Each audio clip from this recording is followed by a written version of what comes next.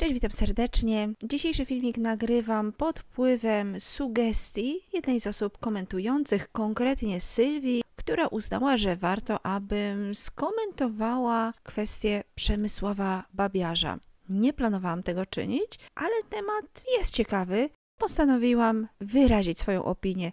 Przemysław Babiarz, komentator sportowy podczas ważnej dla wydaje mi się, wszystkich fanów sportu, uroczystości, pozwolił sobie na wszczęcie pewnego sporu światopoglądowego i na sporą dawkę prywaty. I moim zdaniem to jest sedno całego tego problemu, tego, całej tej afery. To nie chodzi o to, co John Lennon miał na myśli pisząc tekst piosenki. Chodzi o to, czy ta sytuacja, te okoliczności są stosowną okazją do wszczynania sporu światopoglądowego. Przykładowo, znacie mnie, wiecie, że ja mam bardzo wyraziste poglądy i że bardzo, ale to bardzo zależy mi na sprawie, o której walczę na tym kanale.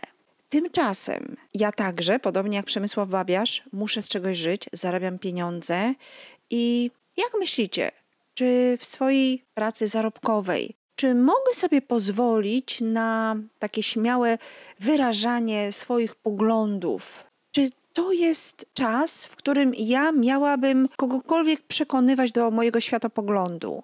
Wyobrażasz sobie coś takiego, że przygotowując ucznia do matury, ja nagle zaczynam mu dogryzać z powodu tego, co zjadł dziś na obiad. A ja często wiem, co moi uczniowie jedzą, bo przecież w ramach lekcji są także konwersacje, jest też dosyć e, silna taka więź między nami, taka zwykła ludzka więź, która się wytwarza i moi uczniowie dużo mi opowiadają o sobie, bardzo dużo o nich wiem, często zwierzają mi się nawet ze swoich problemów, więc oczywiście, że również wiem, co oni jedzą. I wyobrażasz sobie, że miałabym swoje lekcje, czyli moją tą pracę zarobkową, wykorzystywać jako okazję do głoszenia moich skąd inąd ważnych dla mnie poglądów. Oczywiście, że nie. Praca to praca. Wykonuję usługę, za którą jest mi płacone.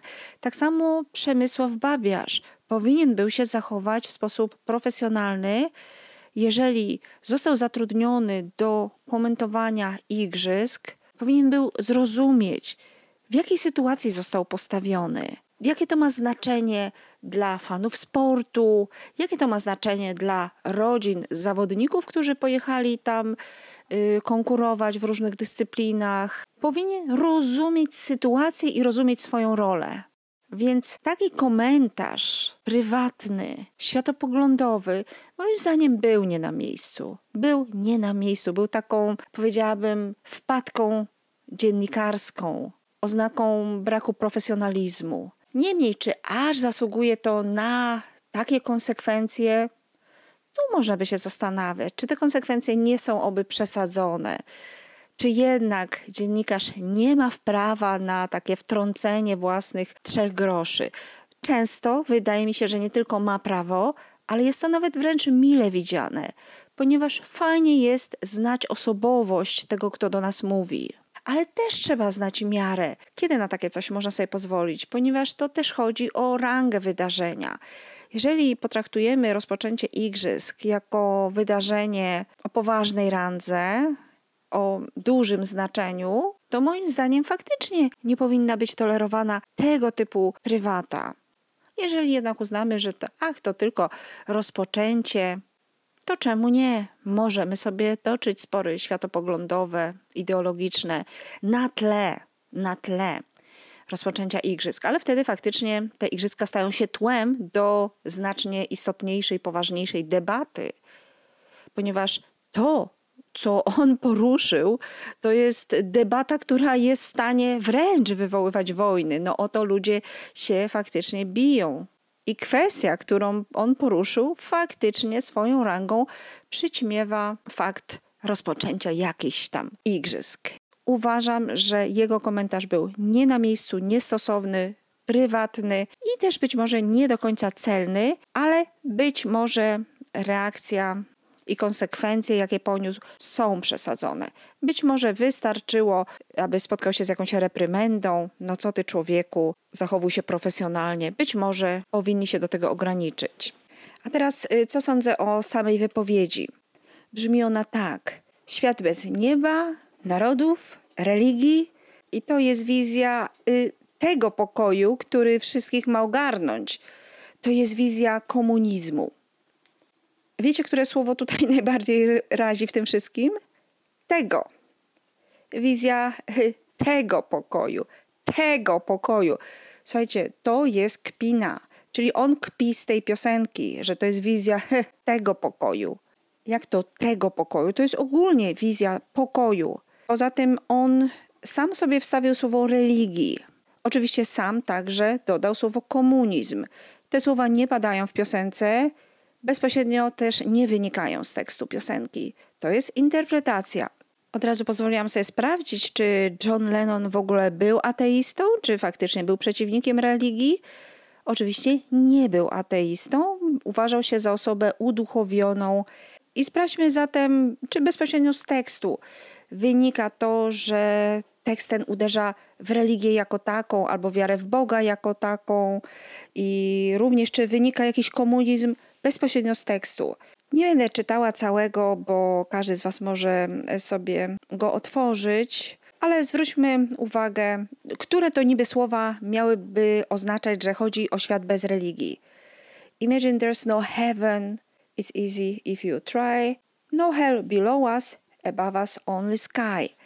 Ok, czyli wyobraź sobie, że nie ma nieba nad tobą, ani piekła pod tobą. To oznacza, że on walczył z religią?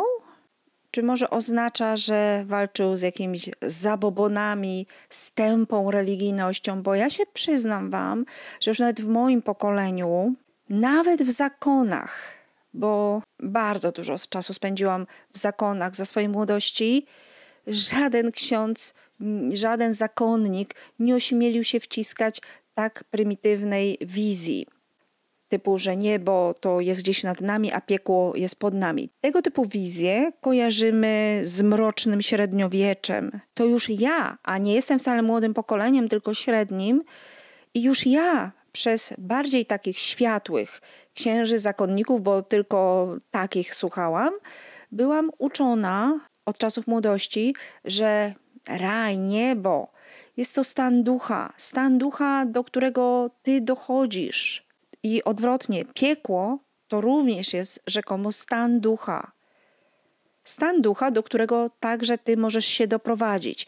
Czyli można by powiedzieć, że każdy myśl, myślący filozoficznie, nie jakiś taki może pierwszy, lepszy, ale każdy myślący filozoficznie ksiądz, wyraża poglądy zbieżne z Johnem Lennonem z tejże piosenki. I wielu teologów, księży ma krytyczny stosunek do prymitywnej, prostackiej religijności. I z tej piosenki wyraźnie wynika krytyka tylko i wyłącznie określonego typu religijności.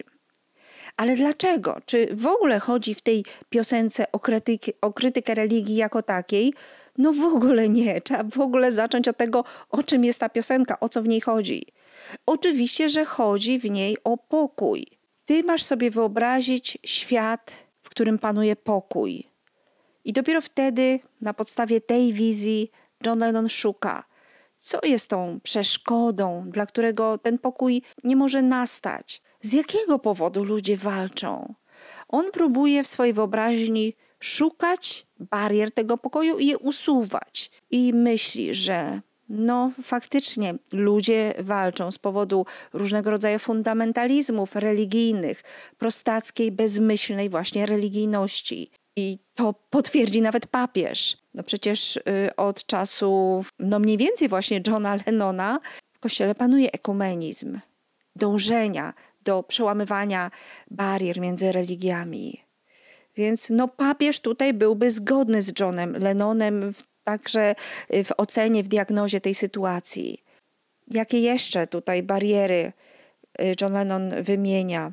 Na pewno chciwość i faktycznie tutaj y, padają takie słowa imagine no possessions, no greed, e, no need for greed or hunger, czyli świat, w którym nie ma tej własności, nie ma chciwości, ale też nie ma głodu. Owszem, Jeżeli ktoś chce, może to zinterpretować jako wizję komunizmu. Oczywiście, że tak, ale również wizję chrześcijaństwa. Przecież podobne wizje także przedstawiał Jezus. On także był przeciwny chciwości, materializmowi i przeciwstawiał temu wartości duchowe.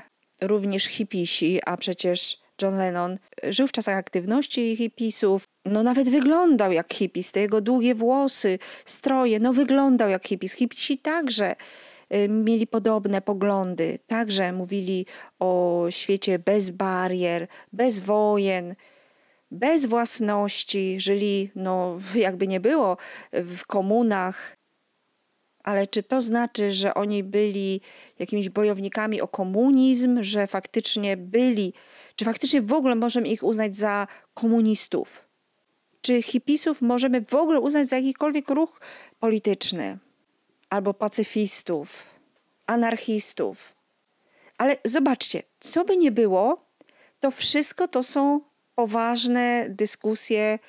Możemy zastanawiać się, czy każdy anarchista zaraz jest komunistą, czy będzie popierał komunizm. Wątpię, bo komunizm trzeba zaprowadzić, czyli znów trzeba jakiejś władzy, trzeba przemocy, rządu.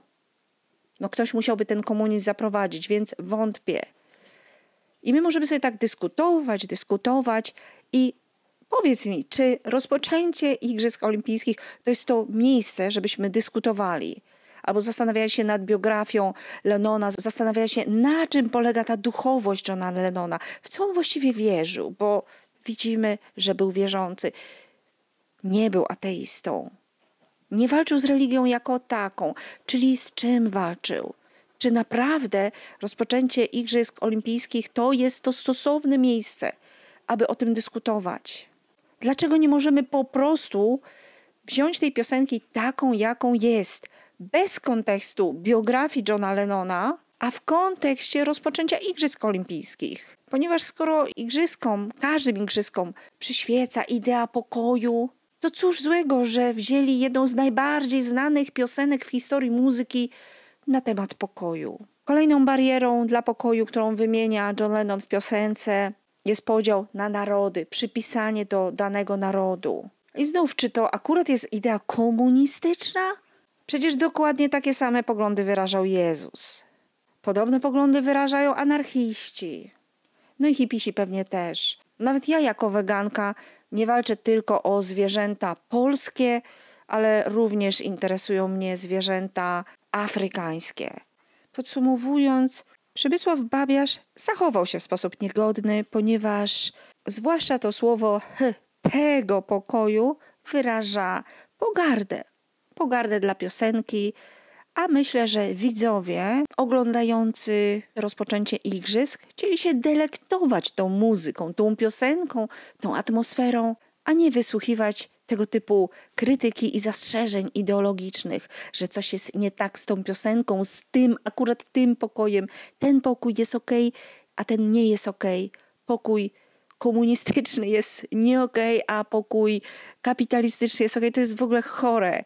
Jeszcze interpretacja taka jednoznaczna, że to jest komunizm i jeszcze w Polsce.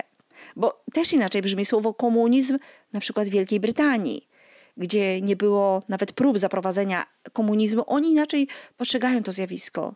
Oni widzą to w sposób pozytywny, bo nie znają tych wszystkich patologii, jak to jest z przymusowym zaprowadzaniem jakiegoś systemu, jakiegoś ustroju. Brytyjczycy do dzisiaj mają wizję i mają prawo mieć takie wizje bardziej wyidealizowane. Ach, jakby to było, gdyby. Ale wyjaśnianie Brytyjczykom, jaka jest natura ludzka i co stoi na przeszkodzie do tego, aby w ten sposób zaprowadzić pokój, to jest naprawdę spór odrębny. Jak możemy w ogóle artystę obarczać czymś takim? Artystę, który ma prawo po prostu rozmarzyć się i zaśpiewać o swoim marzeniu na temat pokoju. Nie ma obowiązku zdawać sobie sprawy z wszystkich politycznych konsekwencji, czy nawet psychologicznych konsekwencji jakichś tam decyzji politycznych. Nie musiał w chwili pisania piosenki brać pod uwagę takich zjawisk jak korupcja, złodziejstwo. Nie musiał w tamtym momencie przewidywać wszystkich patologii, które nieuchronnie mogą się wiązać z przymusowym wprowadzeniem być może nawet czegokolwiek. Nie tylko tego. Czy, czy tylko przymusowe wprowadzenie komunizmu wiązało się z patologiami? A z czym się wiązała na przykład prohibicja? No przecież też się nagle wiązała z rozkwitem przestępczości. I ktoś, kto marzy o świecie wolnym od alkoholizmu i nieodpowiedzialnych rodziców, alkoholików, musi w takim momencie być w stanie przewidzieć, z czym może się wiązać na przykład tego typu zakaz? No bez przesady. No i finalnie, no dlaczego Przemysław Wabiarz w ogóle wszczął ten spór w takim momencie, kiedy widzowie chcieli po prostu delektować się tym pięknym widowiskiem i atmosferą. To było niepotrzebne, nieprofesjonalne, ale też nie przesadzałabym z tym, że zaraz musiało się wiązać z aż tak poważnymi konsekwencjami. I taka jest moja opinia na ten temat. Napisz mi w komentarzu, co ty o tym sądzisz, a ja już dziękuję dziś za uwagę i pozdrawiam serdecznie.